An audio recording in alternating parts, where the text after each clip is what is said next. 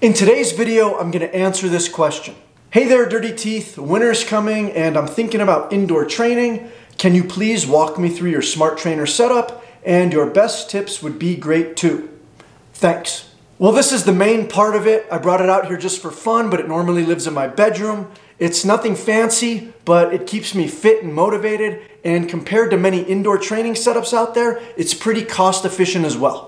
So without further ado, here's what I've got going on for indoor training with some tips and hacks I've learned along the way. And yes, I'll put the appropriate links in the video description. First off, I don't have a dedicated room or a man cave or anything like that. So if you're limited on space, don't let that deter you. Like I said, my smart trainer is normally plopped in my bedroom, and I'm lucky enough to have it parked next to big windows. They let in plenty of sunlight, which is really nice, and I can also open them for some extra ventilation. I know this isn't possible for everyone, but if you have access to a window or natural light, I vote use it. The bike sits right in front of my desk and computer, where I also happen to edit all my YouTube videos. When it's time to ride, I simply spin the monitor around so I can entertain myself and stave off the monotonous boredom. I've usually got something lined up on Netflix to watch, or I'll dig into my watch later playlist on YouTube. I can handle deeper content that requires more brain power during longer Zone 2 efforts, and I opt for more mindless shows or videos that I don't need to concentrate on as much for harder interval workouts.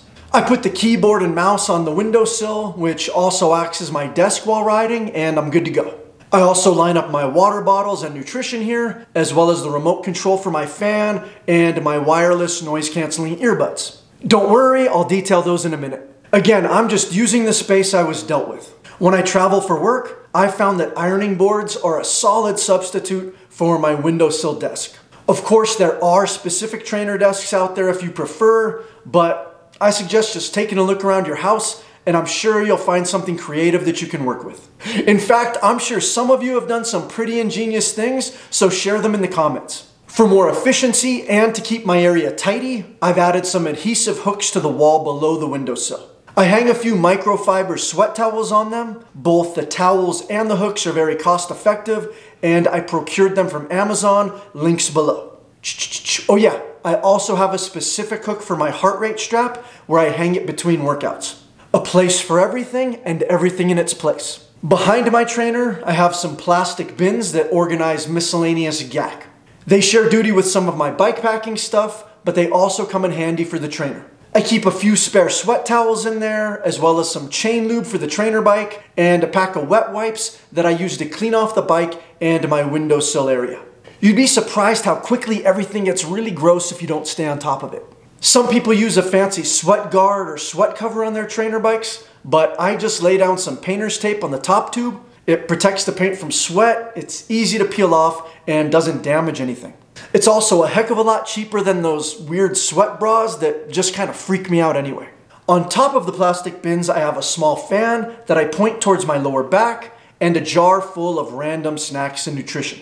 It's usually filled with bars and gels and chews and fruit snacks, and depending on the length and intensity of the ride I have planned, I'll just grab a variety of treats to keep on the windowsill for easy access. I used to keep a trash can close by where I'd throw my bar and gel wrappers in.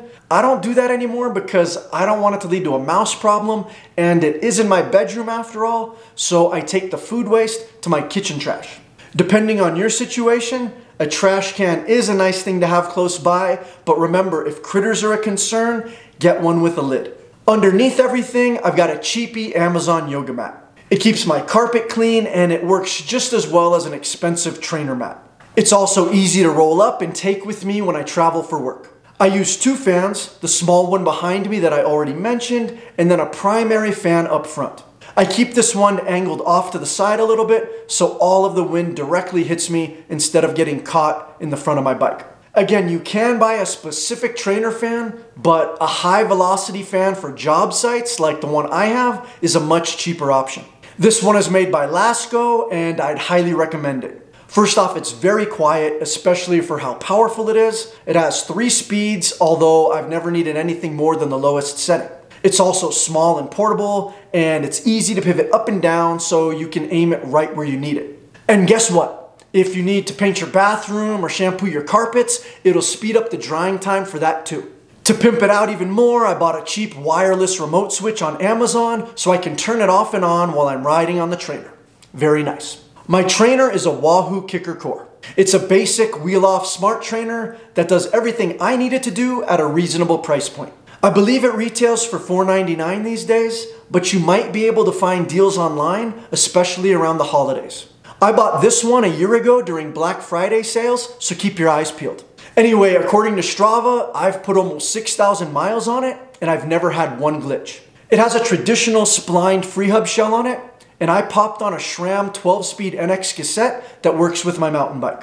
Yes, the thousand or fifteen hundred dollar trainers have a few more bells and whistles and offer some movement, and they're maybe 1% more accurate for power data. But for most of us average Joes and Joannas, I don't think you need to buy into the hype.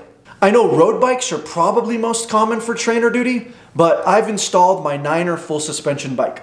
It's super duper comfy and I'm primarily a mountain biker, so it just feels right. I keep a Garmin out front mount on the handlebars and attached to that, I have a simple little iPhone or tablet holder from Amazon. It clicks in and out of the Garmin quarter turn mount and I plop my phone on it during workouts. As I said, I just watch TV, movies, or YouTube videos while I'm training. I'm not as Wifty, or at least not yet. A friend of mine's been bugging me to do it, and I might give it a try one of these days. But I do use TrainerRoad for structured workouts, so I like displaying all that info on my phone right in front of me while I watch whatever on the computer screen. Also, if an important text pops up, or I need to answer a call or send a quick email, it's easy access. I have a set of wireless noise canceling JBL earbuds that work great as well. I think they're about 50 bucks and they've been a solid investment. They last a very long time between charges and they do a great job of canceling out most of the drivetrain and fan noise so I can focus on my chosen entertainment. It's easy to switch between the noise canceling mode and an ambient aware mode if my wife walks in and needs to chat with me. I can also play and pause the video I'm watching by tapping the earbud and I don't need to reach down and hit my keyboard. About five months ago, I pulled off the front wheel on my bike and I splurged for the Wahoo KickR Climb. This is not at all mandatory or necessary for an indoor training setup, but boy do I dig it. My preferred types of mountain bike rides include long, steep climbs, followed by epic, endless descents. If you're with me, raise your hand. And I have a lot of that type of terrain where I live. So when I'm indoors, I like to be able to mix it up and throw some steep climbs into the mix. The KickR Climb is designed to integrate with Zwift and it'll go up and down automatically with the terrain, which seems great. But even without that, I enjoy manually moving it up and down randomly on my own to mimic the steeper terrain. Even if it's just to change my position on the saddle and tax my muscles in different ways, it really helps me get through the training rides. Unfortunately, it's not cheap and it actually costs me more than the trainer itself. The climb retails for $700 and I think I paid 550 for it. Yeah, it's not for everybody, but for me, it's worth every penny. Other than that, on the days I have an indoor session, I just use my bike as a clothing rack and I lay out my riding gear in the morning. When it's time to jump on, everything's ready to go and I have a consistent routine. My shoes go underneath the bike and I dangle everything else off the saddle and handlebars, etc. After the ride, I hang all my clothes and towels on the bike and I keep the fans running for a while so everything dries out before I toss it all in the laundry. One last little purchase I want to share is a baby bottle dryer. I have it hanging in the kitchen and after every ride I wash my bottles and stick them up on the branches to dry. It's got a drip tray and a spot to toss the bottle caps as well. Again, not necessary, but it helps streamline the process. And all of these little things add up to squeezing more saddle time into your busy schedule with less time wasted on the minutia. I hope I answered the question and maybe some of this will help you dial in your setup and get you motivated for some winter indoor riding. If you have any related tips or tricks or hacks for indoor training, do tell. I'd love to hear from you in the comment section.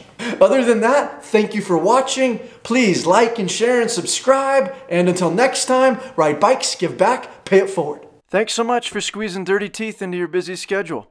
Please help us reach more people and ensure you receive new videos by giving this video a like, subscribing to the channel, and clicking the notification bell. Until next time, ride bikes, give back, pay it forward.